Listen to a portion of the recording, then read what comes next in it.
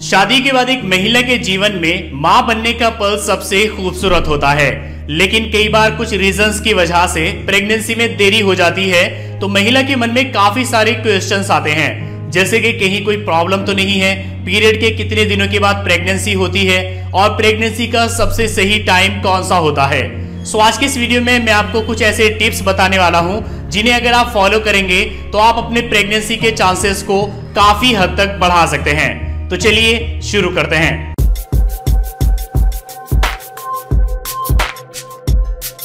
Pregnancy न होने का कारण शारीरिक या मानसिक कोई भी हो सकता है। अगर आप माँ बनने की प्लानिंग कर रही है तो आपको कॉन्ट्रासेप्टिव पिल्स जैसे कि अनवांटेड 72 या एबॉर्शन पिल्स जैसे कि मिफेजेस अनवांटेड इस तरह की किट का इस्तेमाल बिल्कुल बंद करना होगा।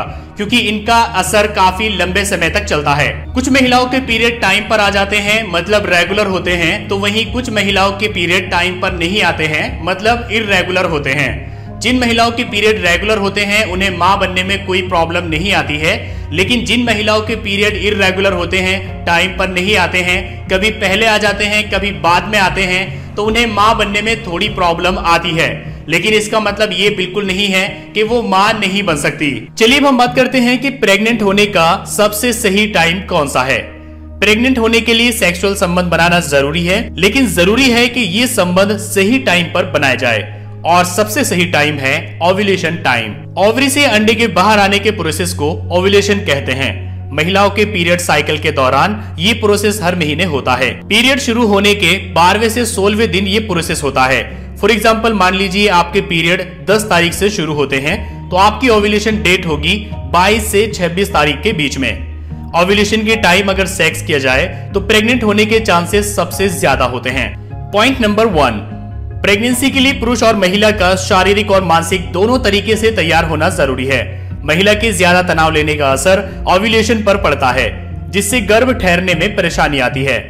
पॉइंट नंबर टू गर्भ धारण करने की सही उम्र महिला के लिए 22 साल से 29 साल के बीच में होती है।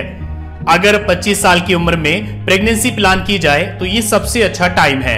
क्योंकि 25 साल की उम्र में महिला शारीरिक और मानसिक रूप से बच्चा पैदा करने के लिए तैयार होती है।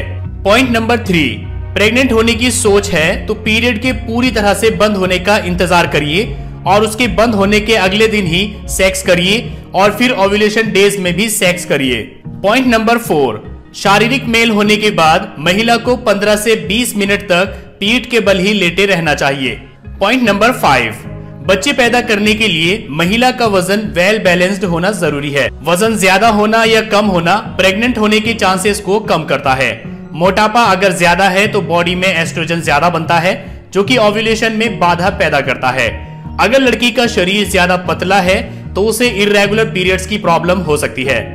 पॉइंट नंबर सिक्स अगर पीरियड की सही तारीख आपको नहीं पता है तो ओव्यूलेशन का समय मालूम करना मुश्किल हो जाता है।